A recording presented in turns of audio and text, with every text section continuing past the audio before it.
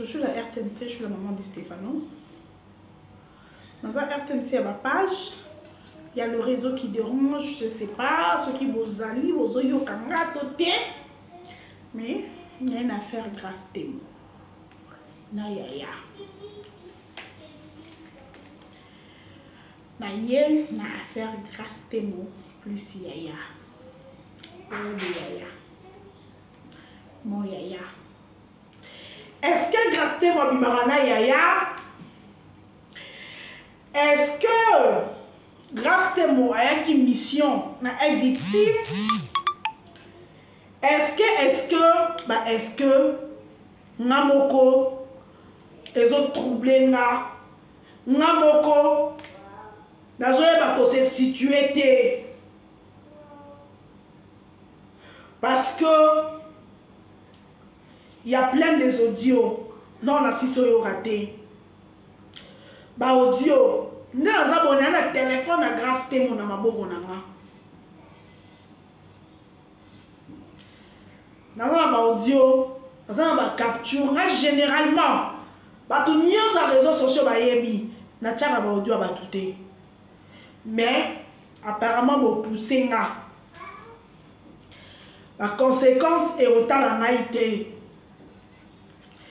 Conséquence et okipe ngai te parce que bozo pousser nga en tout cas na bando tia olio ndambu ndambu ndambu tokolia matière ensemble bakombo ya bato eza na histoire oyo mpo naza na telefone na grace tembo na maboko na nga doso okomeli grace tembo alo sikoyo oyebaki nga na omona ngo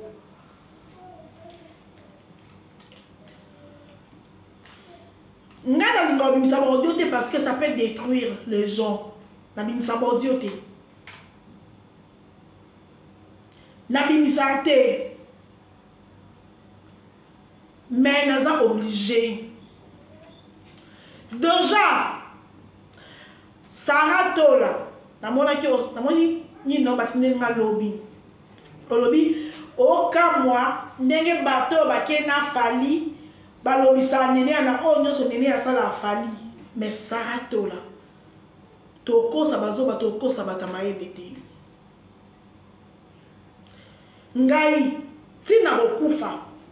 nofinga mwasi afali te ntina okufa nofinga mama afali te Ti na kokufaka na kofinga tata ya Fally te na kofinga bana ya Fally te na bana ya Nicky na bana ya Nana na kofingaka bango te. Sarah yo oloba Fally apesa nga poison natiela yo na prison. Seul ba warrior ba zoba nde moto ba croire na yo. Na bande omoni ko popol mopasula oyo na osalela ba like tozosolola lobi tosololaki. donc omoni omoni na biso e nde bakosa na kuna ke ngai sosakria te nga bango nyonso basolisaka nga apart des mare oyo toyebani te na vraie vie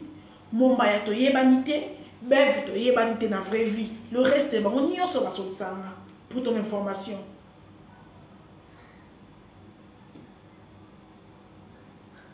oyo oh, osala fali okenda koluka ntina baivoirien bacamerounais mpo badétruire via fali ngai nene atina okufaka na kosala yango te nafingaka fali te certes ke ngai naza na position ya musicien moko te soki fali asali malamu aotosala yo arena ah, naza okumise natombolaki ye likolo ntango bato ya ekipe na ye moko babambi ye bakomi grandeur ya bayo arena na abeti te Nga na sani.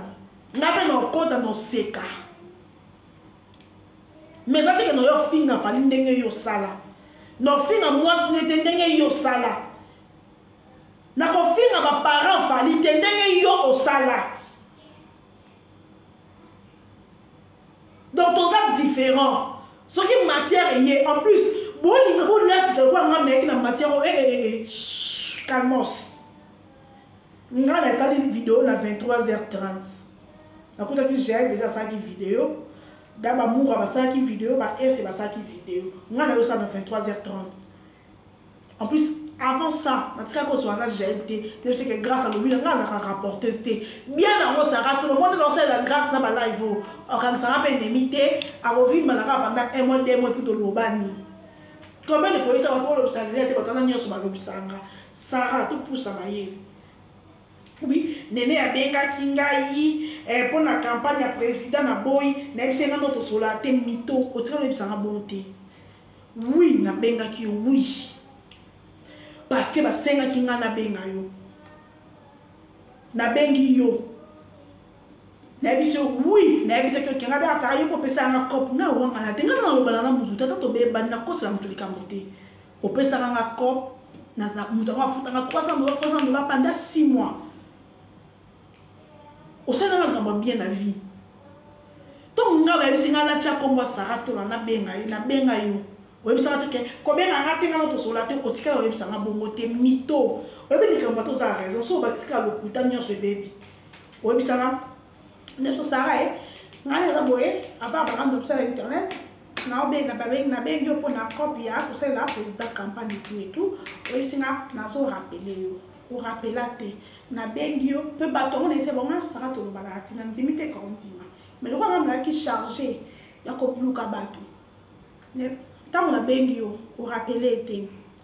Euh, esika nazo rappele na ye naso na bato na orapele ozala koseka kutu bo enregistraka ti mpo nga na enregistraka na bato te bimisa yango ti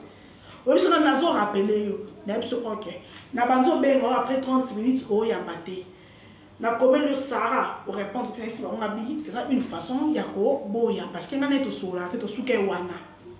nga akosela motu likambo te omoni bato wana nyonso oyi bayebi ke nga akosela motu likambo te napambela motu likambo te nga nene na monoko na nga so ti jael asilika nga te nayebisaki ye ke grace te malobi bino babata basse classe ngai te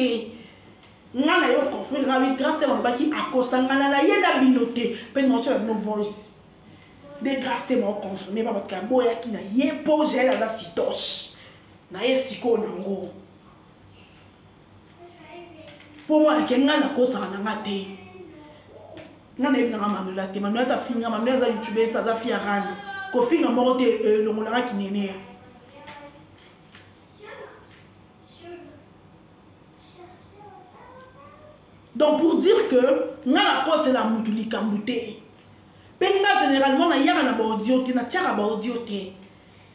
Mais lokola bolingi tosala jango en tout cas pour une fois na me kotia ba ba audio.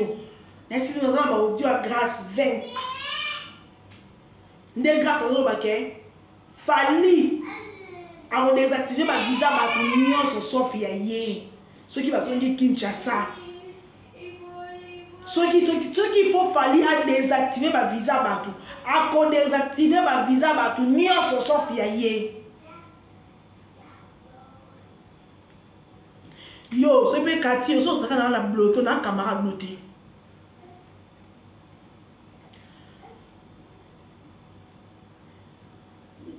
grace apparemment osalaki émission na wana ngana oyebiki nga na problème te yo oyebi no kutu nga bien oyebi balinga yanga te baloba yanga naza lesbienne natya voice na ngo nde osola na mwasi no ya lesbienne pona na ba conversation na basi na lesbienne misato leki na nga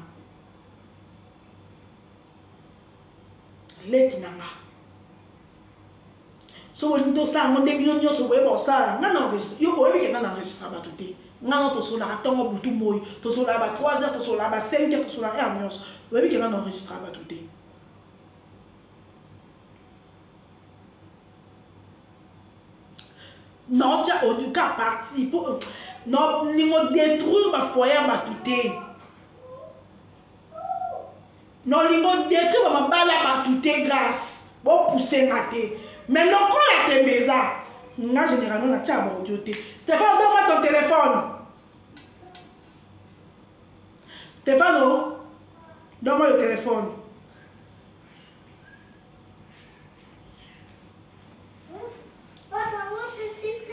Yeah.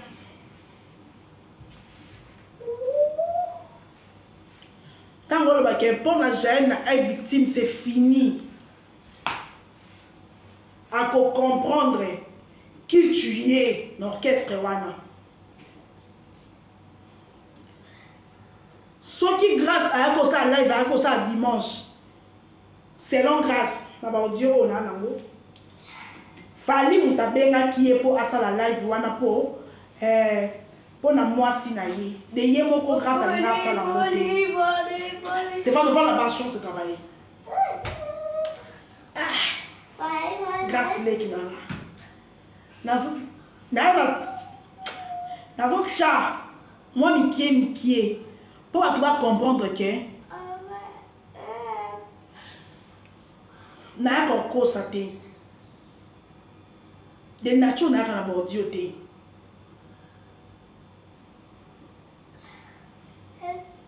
bozwa yango makita mpo na bakota bafoye ya bato na kolinga nanga kopanza te eh, bozela mpe eza ya 2000 bato bozema bozema ngambo na miyokela mpo makota mabaya bato bakombo ya bato eza na histoire oyo bato ebele bazasali toloba mambo ya grâce toza na bapreuve apa mambo ya coach toza na bapreuve te mais sikoyo bapreuve eza grâce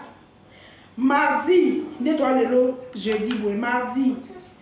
ozalaki na kofi oloni te oyo na oloba parce que fali aya nanga so complot ya osala ye mabe eza na otika yango te mardi ozalaki na kofi olomide na restaurant peninsula bato boza na france nayebi te bato so boyebi restaurant peninsula bato boza na france restaurant moko eza na france kombo nango peninsula grace na ba conversation yo na fait na na na kofi auto na o soki déjà au coucher na ye ba déposa na poto wana yo yebisi te na mute ayebisi ozo zela nini classe on na ye ba ye wana nde ya na ye wana oyo ba ko coucher na ye na poto nde ya na nde na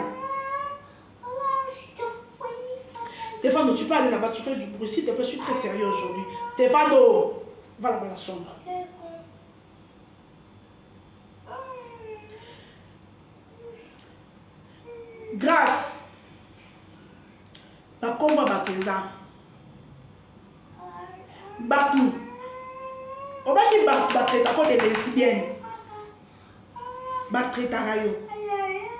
to na tya grâce moto oyo kofi atunaki yo so okushe na ye oyebisi ye nanu te azongiseli yo ozozela nini alobi momo oyo boyeso mpe na portugais grâce c'était qui ma chérie fais très attention Tolinga mbongo nga na yo. Mais koteka molimo te. kokota na basale ku te malheureusement deja okoti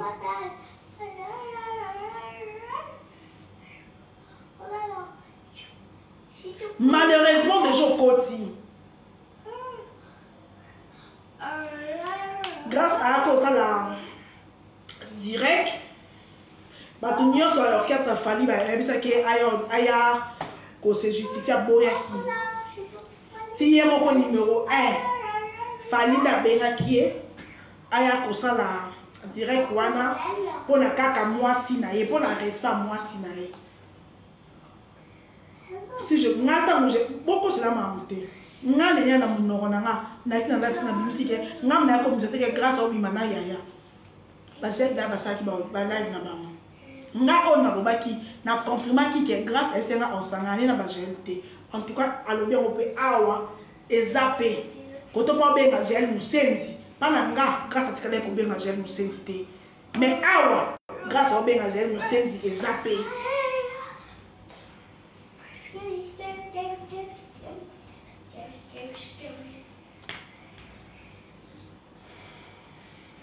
bozela na ndimi ebongi mpo bilo mosusu malgre ba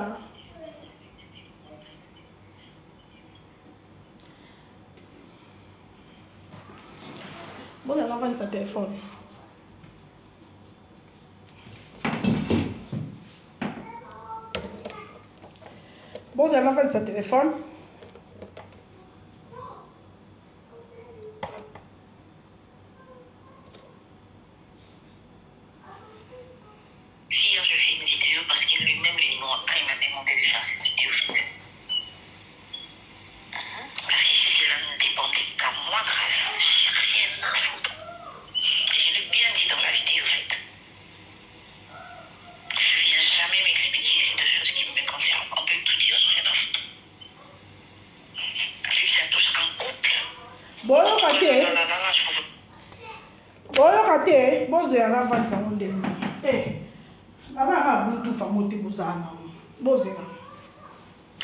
oyo oh, audio na tienano oyo oh, grâce alobi soki ayaki kosala ah, dementi wana kabima na yaya te parce que ye moko yaya abengaki ye mpo asala dementi wana donc soki yaya abengaki ye te alingaki ya kosala dementi wana te parce que elle n'a rien à foutre ayaki juste kosala yango naotya ayaki juste kotya yango mpo na mwasa yaya se calmer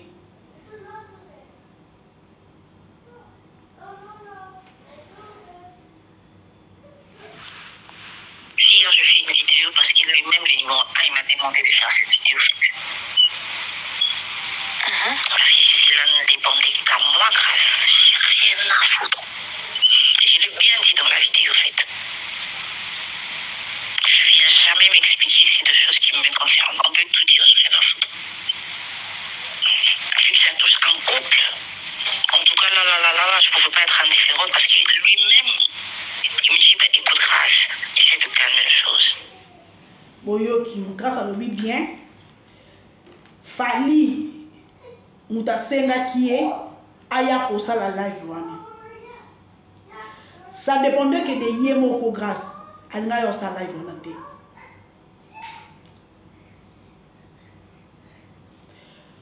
fali moto ayebisaki ye grâce salela nga video video mpo okalme histoire oyo mpo apparemment madame na ye asilikaki tala boevite nga mabe eza boevite nga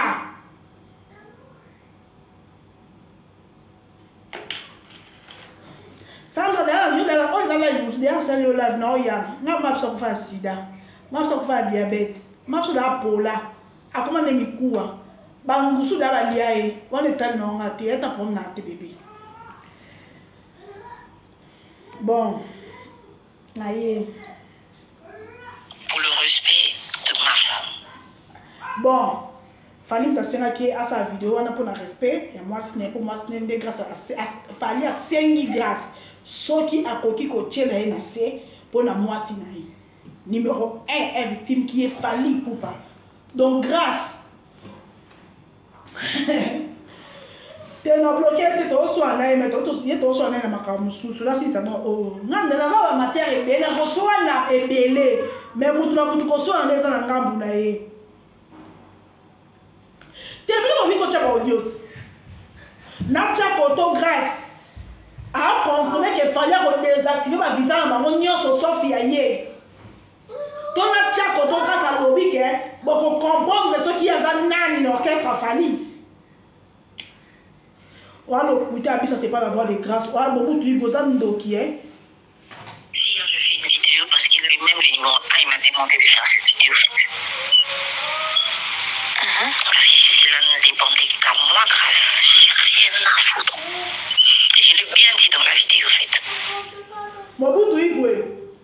soki ozo continue oyebisa nga ke omoni nga ku telefone na ngai atango basala so telefone ma 70 dollar ya kolinga te napesa yango bana tiktok comme ça boyoka bien batya bino mpenza ba bluetooth so bolingi oyo ekoya eya nalongo nasote te natya baparti nyonso nga nata rome te naza ta na rome te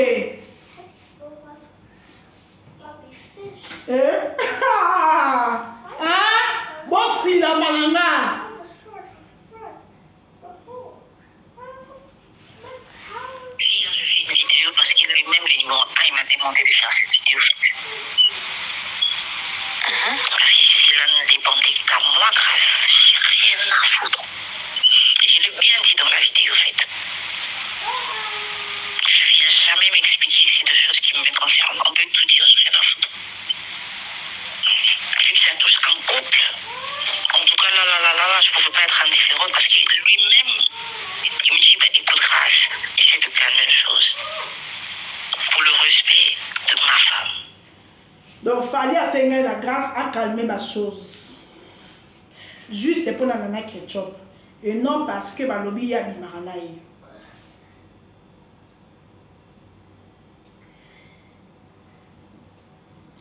Fally asengaki na grâce asala live mpo akalme ba chose donc parce que mère appareil déjà apetaki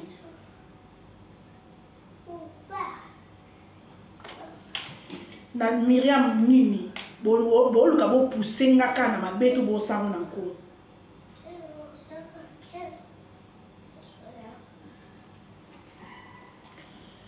donc sandra nga na na bolingo na na bolingo te tata na nga viola nga te yo bota mwa liboso na tata na mwa mibale na noko na yo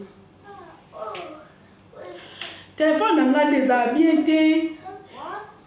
mpo siko nazobi napesa bato ya bamonte batyela batyela napesa yanga bapage ya batiktok batya eh? ok pas de problème lokola bootyaka bootyaka kaka tembe nakozala nanga na shwa te a ah, siko nakei koto grâce aoloba qui elle est na evictime bozela mpo nayesi bino bako nazo ah, grâce aleki na nga bozela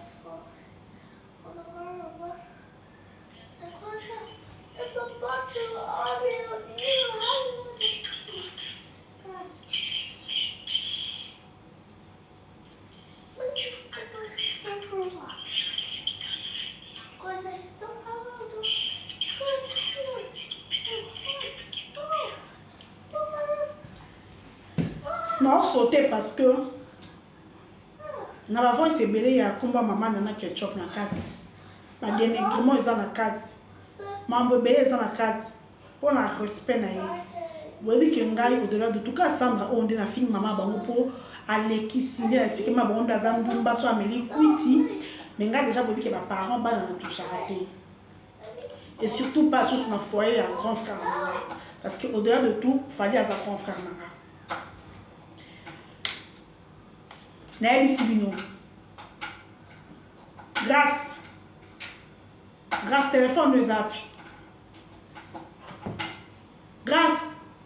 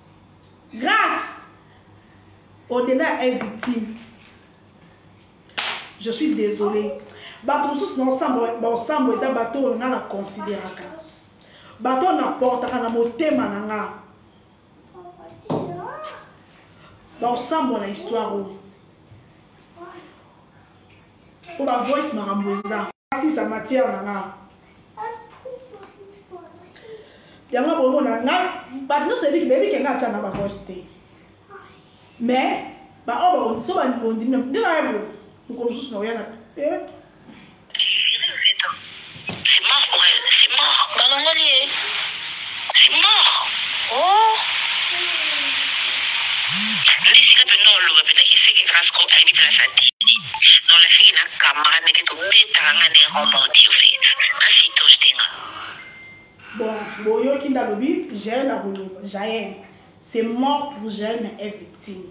esika nde jael akoloba ke grace aza niveau moko na ye te aza camarade na ye te tobetaka ngai na ye ran moko te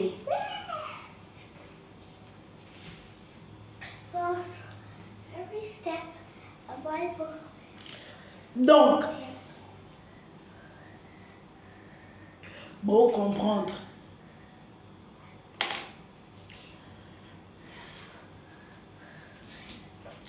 20 audio ya grace te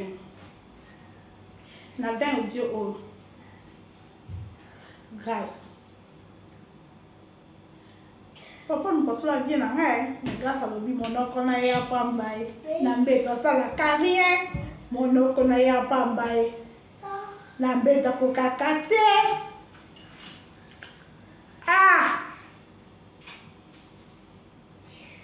nga mwana nga azanga tata tata na ye aza moto ekolo mosusu sandra yo obota na tata na omwa ya liboso oboti na noko na omwa ya mibale yo moko oloba yango bavideo eza nga te natinaka osala bavideo bakobota na papa ya bino mais bandeko nazoya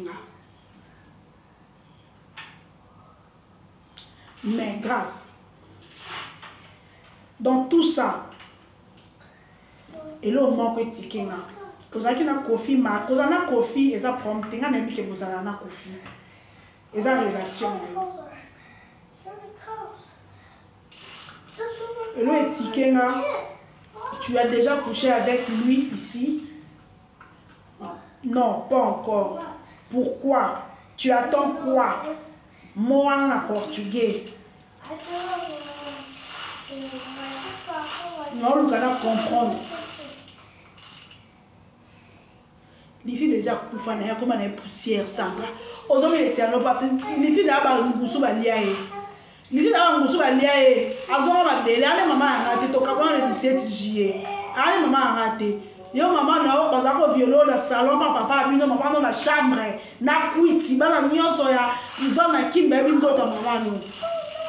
donc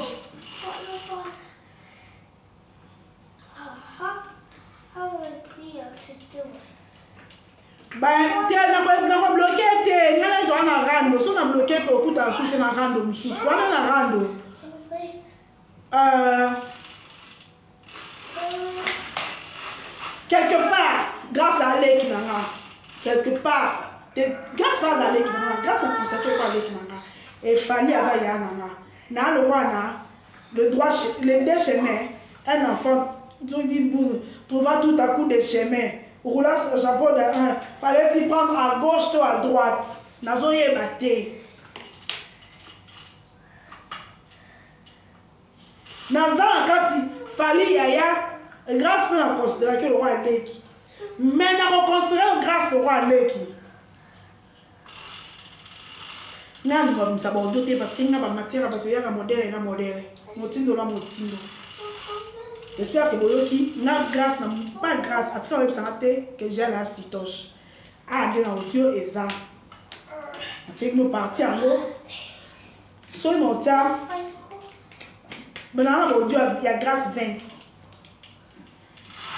mais na olinga mpo okitisa ya na nga te na olinga mpo okitisa mwasa ya na nga te na olinga mpe kobalanse grace à 100 pourcent te mais grace eloo moko etike nga ti sikoyo na baaudio ya grace 20 Grace. Omoni oza boye. Soki osoli sikoyo yebaki eyepa na nga.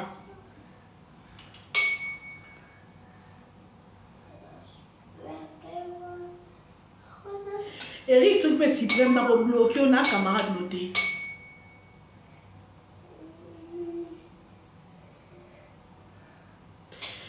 eloko etike nga tu as déjà couché avec lui nayebi te eza mopasula to eza nani ata eza toto suppose ke eza yaya te suppose mpe ke eza mopasula te aotindo couche na motu na idee nini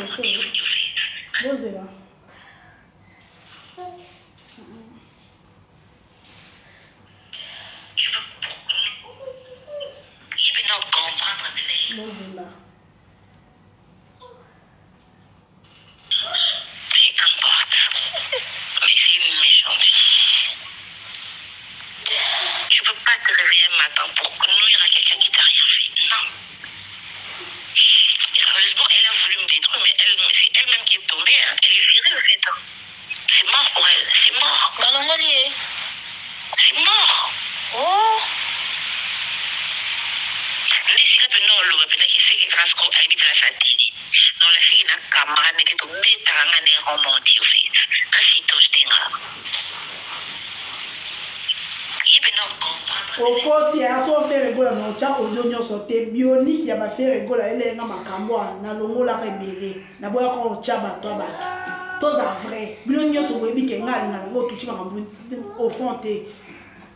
bionika elanga makambo bafele ande ah, abebisaka bafi a ah. nalongolaka na bapeke bionika mama mabe mpo omanke na mama bino naboyaka otyaka ata bionika kotika mama ya bango na kati boyo bateke soki fere wana na tya nyonso non non non bon Ba audio eza ebele na oluka na oyokisa bino sikoyo esika oyo grâce alobi soki yaya ko désactiver ba visa bato nyonso sauf ekozala visa na ye oyo yaya ko désactiver te donc bato nyonso baa na risque ba visa ya bango ezala désactiver sauf grâce ya na audio wapi yo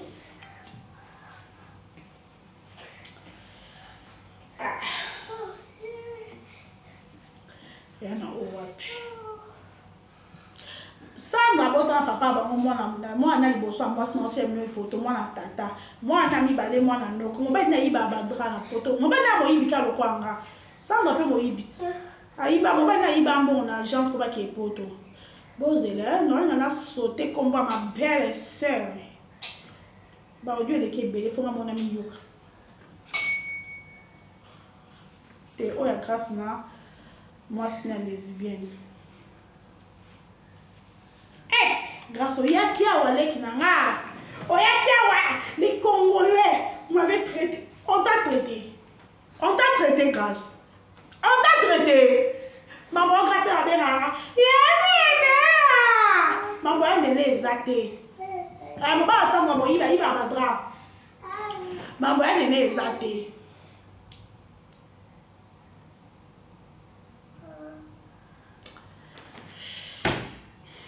bon naye mama oyana nazo insiste